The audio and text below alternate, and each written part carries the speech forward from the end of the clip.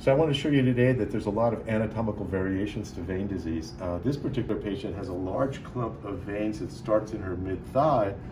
Um, obviously the varicose veins continue down her leg and it's giving her a lot of symptoms in this area here. These are very, very uh, tender and there's a lot of pressure on these.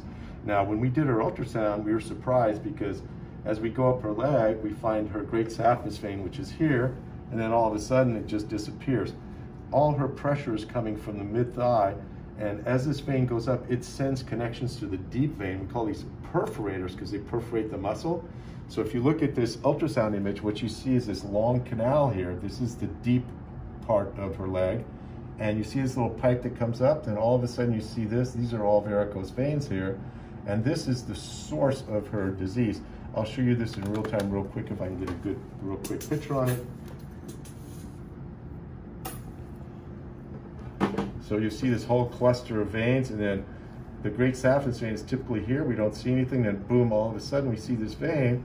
And the way we tell if there's reflux, we just push a little blood up and we let go. And where you see red, that's where there's reflux.